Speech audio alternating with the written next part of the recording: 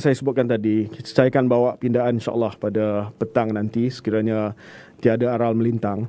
Uh, namun demikian, um, rasional dia adalah uh, lebih kepada kes-kes yang menjadi repeat offenders. Ya. Dan dituju kepada kes-kes tertentu. Saya bagi contoh uh, kluster teratai. Kluster teratai adalah sebuah kilang yang besar uh, di mana pendapatan syarikat itu setiap tahun adalah berbilion-bilion ringgit. Sebelum ordinan darurat diisytiharkan, kita hanya bagi denda seribu ringgit sahaja. Selepas ordinan darurat, kita dia berulang kali jadi kluster. Kita bagi sepuluh ribu ringgit. Mereka keadaan pekerja-pekerja mereka adalah sangat-sangat memalukan. Kebajikan dan juga ruang tinggal mereka dan sebagainya. Jadi denda ini adalah lebih tertumpu kepada kes-kes tersebut. Untuk individu, kita dah ada garis panduan.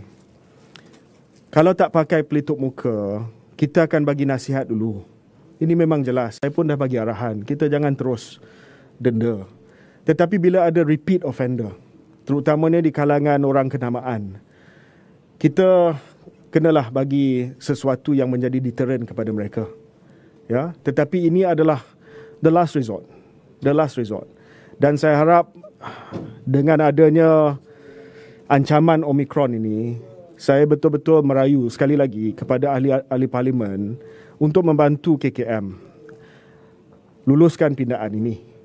Dan minggu depan saya akan duduk bersama dengan jawatan kuasa pilihan khas kesihatan untuk kita memperhalusi garis-garis panduan dan juga peraturan secara detail.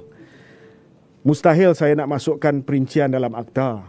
Takkan dalam akta saya nak masukkan denda untuk pelitup muka dan sebagainya.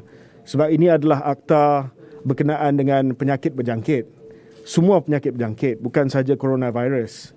Dan mungkin masa akan datang, keperluan dia lain, SOP dia lain. We don't know what infectious disease will be around next, what disease X is.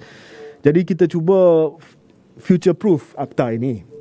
Dan um, yalah, saya harap uh, pindaan ini dapat disokong. Saya sendiri telah jumpa dengan uh, kumpulan yang telah berhimpun di luar parlimen tadi menerima memorandum mereka. Saya dah jumpa dengan ahli-ahli parlimen semua. Saya dah uh, terima banyak maklum balas.